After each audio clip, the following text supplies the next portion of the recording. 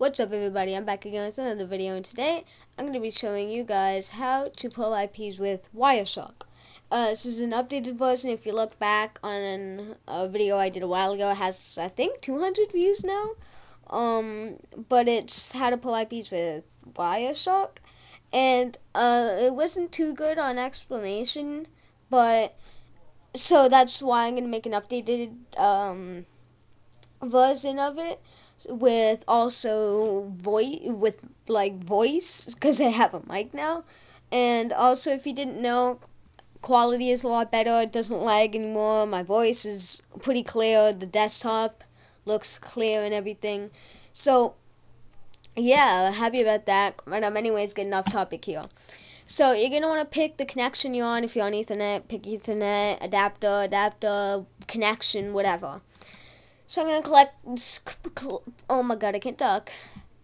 Double click mine.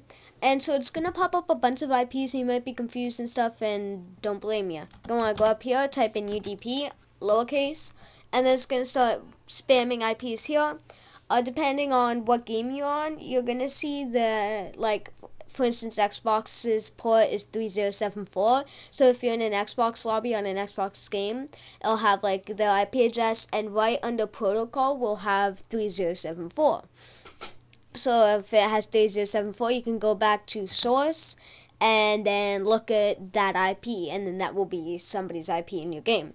Now you can pull IPs on Discord with this, uh, Instagram calls, Skype calls, Facebook calls, every call really and Xbox and PlayStation and PC and everything. Literally everything. So, yeah, it's a really good tool to use. And yeah, so hope you guys enjoyed the video. If you did, please drop a like.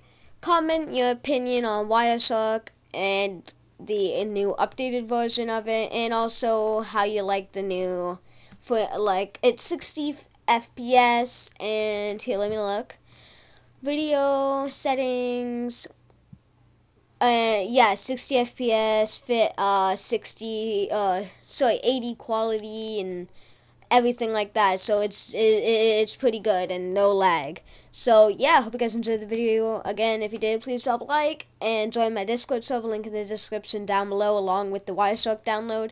And yeah peace